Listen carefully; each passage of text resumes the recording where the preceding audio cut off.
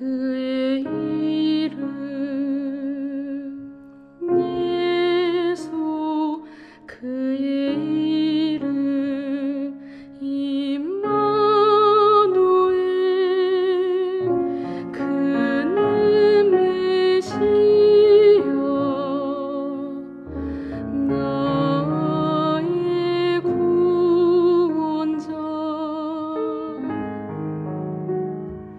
그는 알파 오메가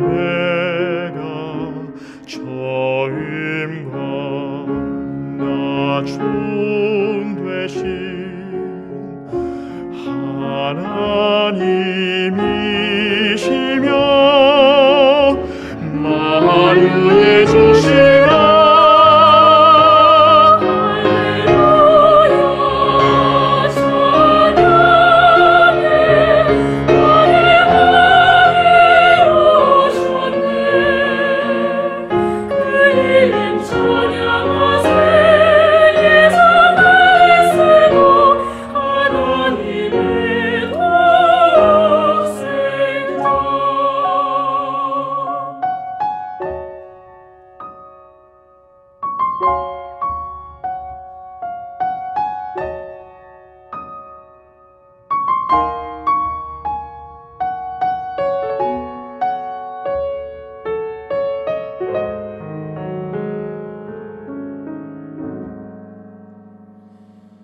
Praise